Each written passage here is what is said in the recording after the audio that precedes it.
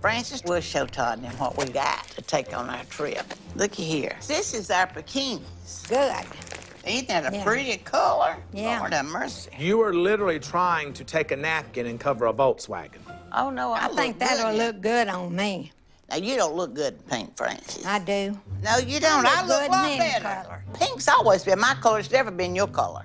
Right. Never. Oh, well. Are y'all excited about your cruise? Well, I've never I'm- been more excited. We know how to have fun. I have no doubt that y'all two know Oh, how to have fun. What's this? This can be your sarong. See this right here? Yeah. Say, look. Oh, yeah. There you go. Yeah.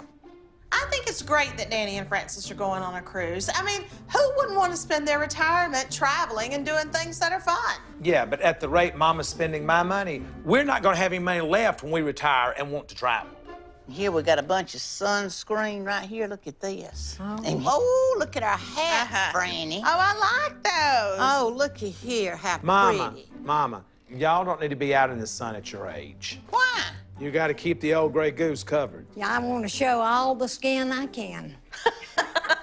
Listen, Todd, when we signed up for this cruise, it was all about laying out in the sun, just living the dream.